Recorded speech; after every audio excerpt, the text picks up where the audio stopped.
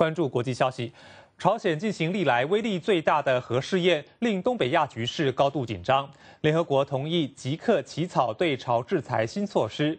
韩国警告，朝鲜核能力正迅速扩张，国际社会必须采取更严厉的行动，迫使平壤做出改变。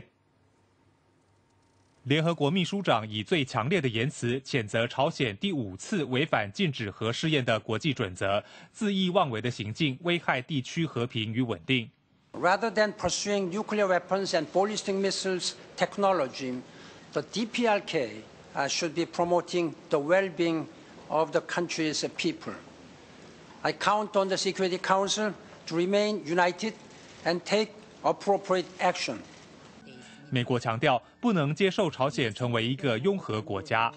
We are very aware that um, North Korea continues to seek, as we could tell, to develop this program, and we're very committed, along with our international partners, to take steps against it.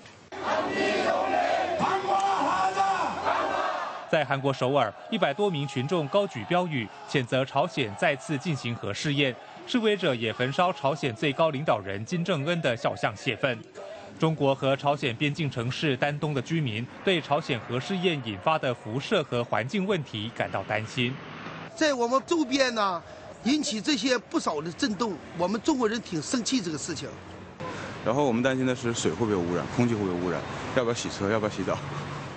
中国环境部门已在东北边境展开辐射应急监测。